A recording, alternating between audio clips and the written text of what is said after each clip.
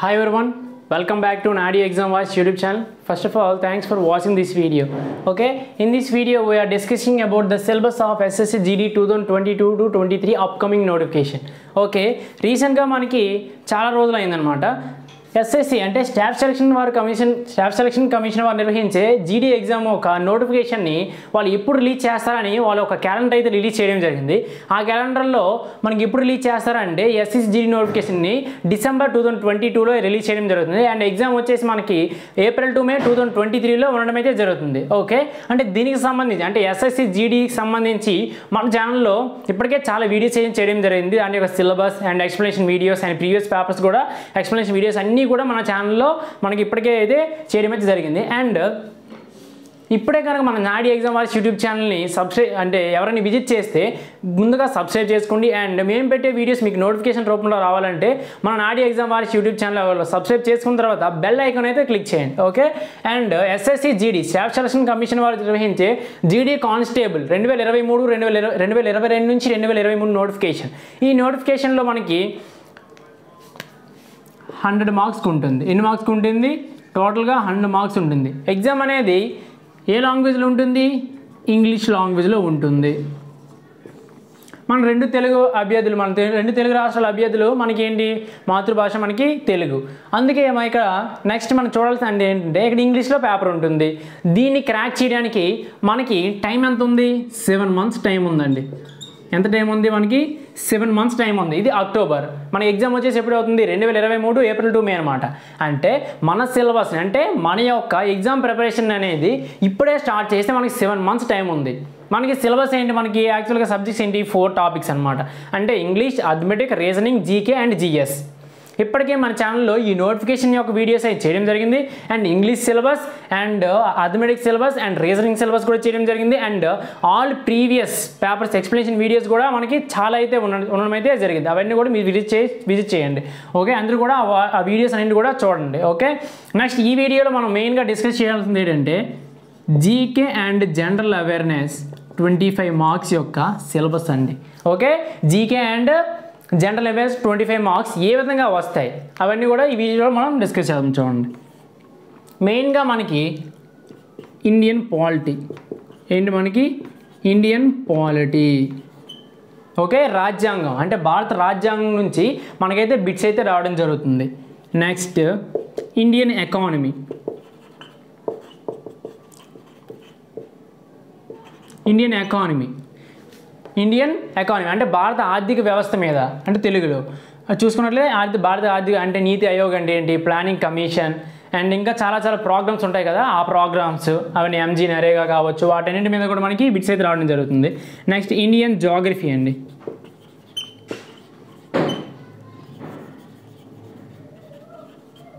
Indian geography కూడా అంటే నది నదీ వ్యవస్థ కావచ్చు పర్వతాలు కావచ్చు ఇంకా పీఠభూములు కావచ్చు ఇంకా మనకి నదులు వాటి యొక్క ఉపనదులు అండ్ బ్రిడ్జెస్ కావచ్చు ఎక్కడ ఎన్ని అడవులు ఉన్నాయి వాటి యొక్క అడవుల శాతం అడవుల శాతం ఎక్కువగా ఏ రాష్ట్రంలో ఉంది అడవులు ఎక్కువగా ఎక్కడ ఉన్నాయి మడరవులు ఎక్కువగా ఎక్కువగా ఎక్కడ ఉన్నాయి నెక్స్ట్ నేషనల్ పార్క్స్ ఎక్కడ ఎక్కువ ఉన్నాయి నెక్స్ట్ గిరి నేషనల్ పార్క్లో ఏది famous Gir national and Guindy national park తమిళనాడులో ఉంది కదా ఆ గిండి నేషనల్ పార్క్లో ఏది ఫేమస్ అన్నీ కూడా అలాంటివన్నీ కూడా మనకి ఇండియన్ జాగ్రఫీ నుంచి వస్తాయి.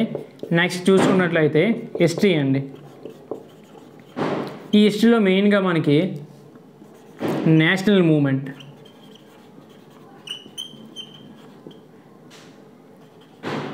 నేషనల్ మూమెంట్ అండి. ఓకే? హిస్టరీలో మనకి మూడు హిస్టరీలు ఉంటాయి. Medieval history ancient history medieval history modern history. అయితే మనకి ప్రాచీన భారతదేశ చరిత్ర మధ్యయుగ భారతదేశ చరిత్ర ఆధునిక భారతదేశ చరిత్ర. ఈ మూడు చరిత్రల్లో మనకి ఎక్కువగా వచ్చేది ఏంటంటే నేషనల్ మూమెంట్. అంటే మనకి మోడర్న్ హిస్టరీ అంటే పద్దెనిమిది వందల యాభై ఏడు నుంచి మనకు స్వాతంత్రం వచ్చింది కదా ఆ టైం వరకు జరిగిన హిస్టరీ మొత్తం కూడా మనకి మోడర్న్ హిస్టరీ కింద వస్తుంది. నెక్స్ట్ అందులో నేషనల్ మూమెంట్ అంటే ఒక పార్ట్. మెయిన్గా నేషనల్ మూమెంట్ చదువుకోవాలి మోడర్న్ హిస్టరీ చదువుకోవాలి. నెక్స్ట్ ఈ హిస్టరీకి సంబంధించి మనం ఏం చదువుకోవాలంటే మనకి బౌద్ధ మతం కావచ్చు జైన మతం కావచ్చు లేదా ఇంకా మనకి చూసుకున్నట్లయితే హరప్ప నాగరికత సింధు నాగరికత గురించి కూడా మనం తెలుసుకోవాలి. నెక్స్ట్ హిస్టరీ అయింది. హిస్టరీ అయిన తర్వాత మనకి ఇండియన్ కల్చర్ అండి. మనం ఏం తెలుసుకోవాలి? ఇండియన్ కల్చర్ గురించి తెలుసుకోవాలి. And folk dances classical dances శాస్త్రీయ నృత్యాలు ఇవన్నీ కూడా మనం జానపద నృత్యాలు కూడా తెలుసుకోవాలి అండ్ ఫెస్టివల్స్ అండి మనం ఇంకా నేర్చుకోవాలి ఫెస్టివల్స్ నేర్చుకోవాలి కరెంట్ అఫైర్స్ కరెంట్ అఫైర్స్ నేర్చుకోవాలి. ఇంకా మనకి ఫిజిక్స్ కెమిస్ట్రీ బయాలజీ నేర్చుకోవాలి. ఫిజిక్స్ కెమిస్ట్రీ బయాలజీ నేర్చుకోవాలి. ఇంకా మనకి Indian polity Indian economy Indian geography history nation movement. Next sports అండి. మాకు నెక్స్ట్ మనకి ఏంటి? స్పోర్ట్స్ నేర్చుకోవాలి geography Indian polity scientific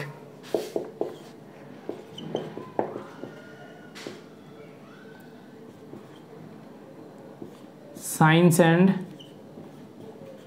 technology అంటే ఇస్రో గురించి కావచ్చు పిఎస్ఎల్వీలు ఉంటాయి కదా polar satellite launch vehicle and important monuments అంటే ప్రాచీన కట్టడాలు.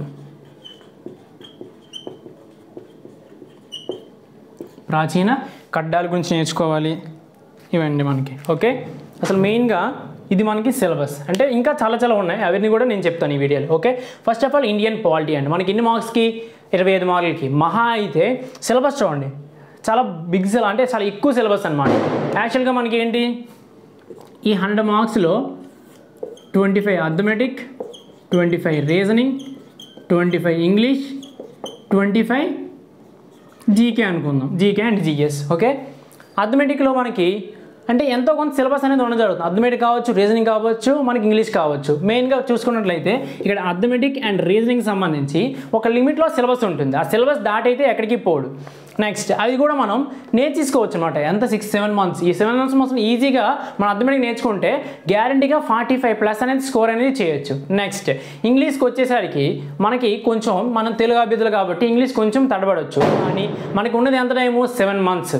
Seven months time ఉంది కాబట్టి ఇంగ్లీష్ కూడా మన ఆర్టికల్స్ కావచ్చు వాయిస్ రిపోర్టెడ్ స్పీచ్ డైరెక్ట్ ఇండెడ్ స్పీచ్ సిలోలిజమ్స్ అండ్ సారీ ఇంకా మనకి ఏముంటాయి? మనకి రీజనింగ్లో సారీ మనకి ఇంగ్లీష్లో ఏముంటాయి? మనకి ఇంకా క్లోజ్ టెస్ట్ కావచ్చు అవన్నీ కూడా క్వశ్చన్ ట్యాగ్స్ కావచ్చు ఆర్టికల్స్ కావచ్చు అన్ని అవన్నీ కూడా మనకి సెవెన్ మంత్స్ టైం ఉంది కాబట్టి బేసిక్ నుంచి స్టార్ట్ చేసినా సరే మన సెవెన్ మంత్స్లో ఈజీగా హై లెవెల్ వరకు అంటే ఎస్ఎస్సి సీజీఎల్ లెవెల్లో కూడా మనం ఇంగ్లీష్ అనేది ఈజీగా సాల్వ్ చేయొచ్చు. కానీ ఈ జీకేకి వచ్చేసరికి ఇదే మనకు డిసైడింగ్ అండి. అంటే అథమెటిక్ రీజనింగ్ అందరూ చేస్తారు. కాబట్టి మనము కూడా వీటి మీద కాన్సన్ట్రేషన్ ఎక్కువ చేయాలి.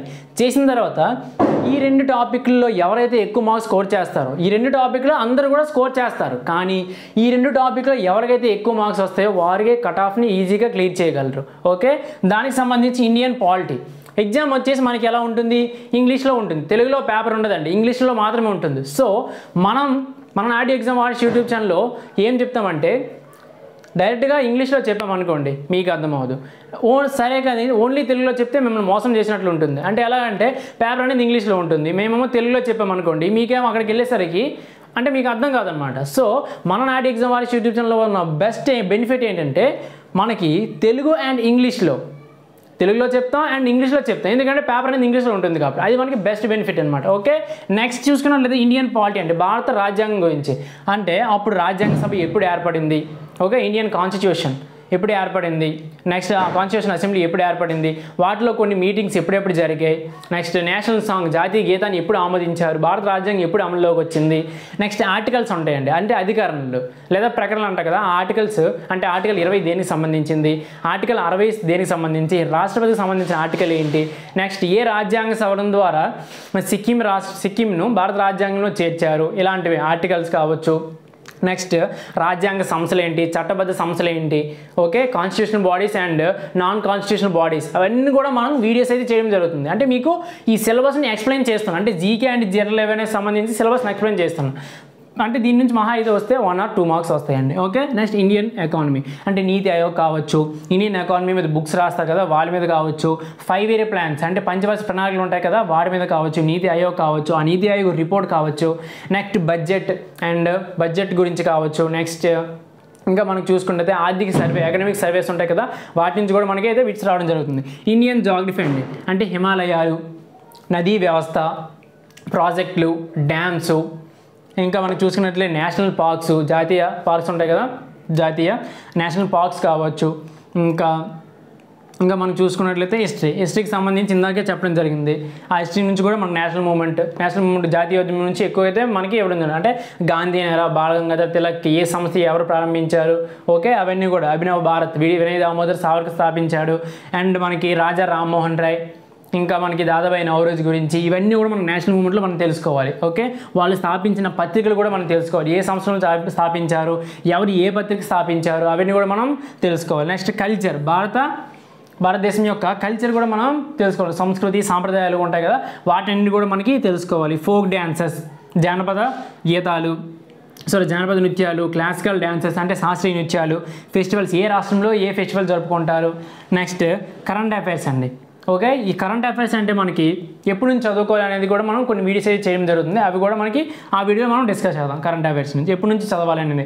నెక్స్ట్ ఫిజిక్స్ నుంచి ఒక వన్ మార్క్ కెమిస్ట్రీ లేదా బయాలజీ సంబంధించి వన్ మార్క్ అయితే ఈజీగా రావడం జరుగుతుంది. నెక్స్ట్ స్పోర్ట్స్ అండి. స్పోర్ట్స్ కరెంట్ అఫైర్స్ నెక్స్ట్ అంటే టోక్యో ఒలింపిక్స్ కానీ టోక్యో పారా ఒలింపిక్స్ కానీ next Asia shooting world cup కానీ బిలియర్డ్స్ కానీ ఆ స్పోర్ట్స్ కరెంట్ అఫైర్స్ అన్నీ కూడా మనం నేర్చుకోవాలి. Okay next science and technology అంటే ఇస్రోకి సంబంధించి. నెక్స్ట్ ఏవైనా ఐఐటీస్ ఏవైనా రూపొందిస్తాయి కదా? కొత్తగా రీసెంట్గా రెండు వేల ఇరవై రెండులో కానీ ఇంపార్టెంట్ అయితే ముందు కానీ అంటే పిఎస్ఎల్వి కానీ అంటే ఇస్రోకి సంబంధించిన ప్రాజెక్ట్స్ కానీ అంటే గగనియాన్ కానీ గగనియాన్ ఇంకా మంగళయాన్ ఇవన్నీ ఉంటాయి కదా. వాటి చంద్రయాన్ ఆ ప్రాజెక్ట్స్ గురించి నేర్చుకోవాలి. అండ్ ఐఐటీస్ గురించి కూడా నేర్చుకోవాలి. ఐఐ అంటే ఐఐటీస్ కనిపెట్టిన కొన్ని ఉంటాయి కదా. వాటి ప్రాజెక్ట్స్ కానీ ఏవైనా ఉంటాయి వాటిని మనం నేర్చుకోవాలి. నెక్స్ట్ మాన్యుమెంట్స్ అంటే ఇంపార్టెంట్ ప్రాచీన అంటే ప్రాచీన కడ్డాలు ఉంటాయి కదా. అంటే తాజ్మహల్ కావచ్చు ఇంకా చార్మినార్ కావచ్చు ఇంకా బులం దర్వాజా కావచ్చు ఎవరు కట్టారు ఇంకా వాటి గురించి మనం తెలుసుకోవాలి. ఇంకా టెంపుల్స్ గురించి నేర్చుకోవాలి. ఏది గురించి నేర్చుకోవాలి? టెంపుల్స్ గురించి నేర్చుకోవాలి.